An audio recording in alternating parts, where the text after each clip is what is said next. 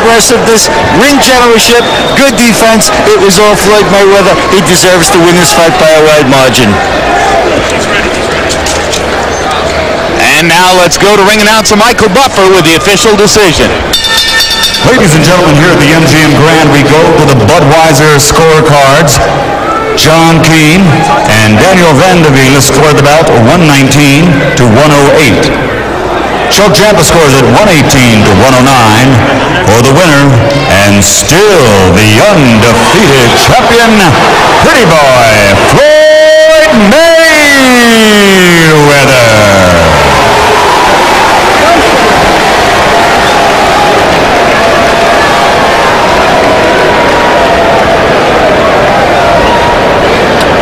So Mayweather remains unbeaten, as did another 130-pound titleist earlier this evening, Diego Chico Corrales.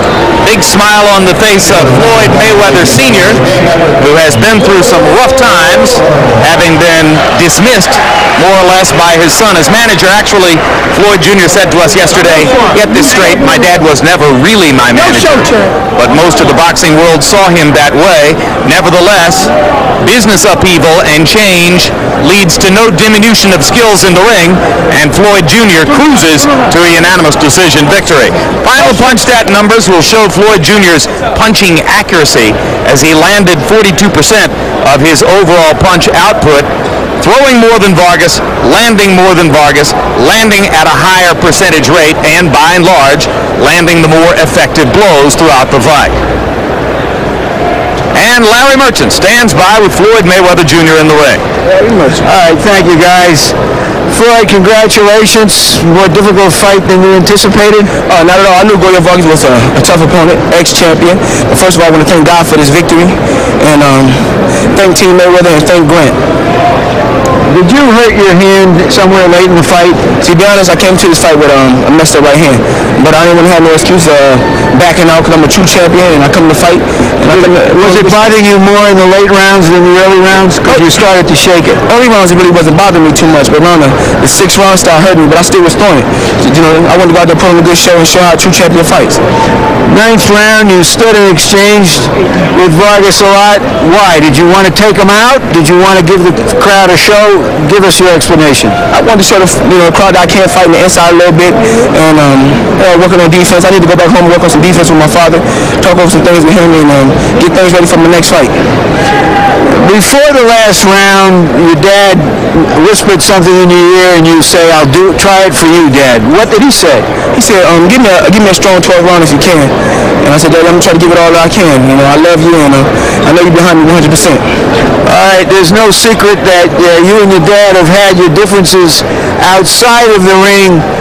Did everything work inside of the ring, and can can you work together inside of the ring and maybe repair things outside of the ring? Well, everything that happened on the outside of the ring was hearsay. I mean, I love my father more, always love my father, and I always want my dad to be my trainer. I always want my dad to support me 100%, no matter what he says. I love my father.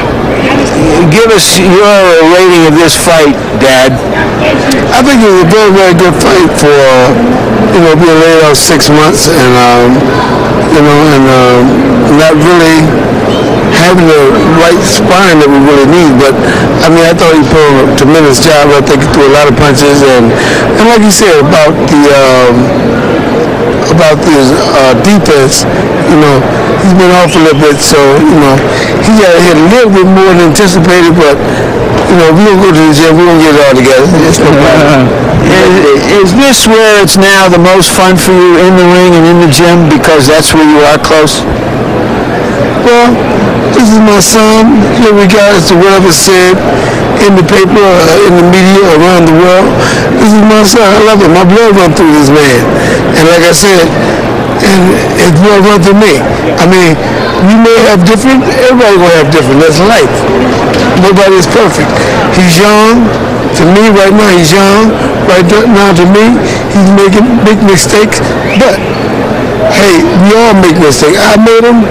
He's gonna make them. Sometimes we pay more than the other guy. So, you know, I just hope some kind of way, and I pray that hey, that everything will work out for him. But this is my son. I love him, and we're gonna be together forever. Just one last thing. Did you watch Corrales, Corrales fight. Give us your thoughts about him and about meeting him in a big showdown fight perhaps later this year. I'm looking forward to fighting Diego Corrales in the future. You know, hopefully um, we can we can build that fight up, and uh, me and him can fight and unify the titles. And uh, I'm looking forward to fighting the WBA junior lightweight champion next. Then after that, me and Corrales can fight to unify the titles. Thank you very much.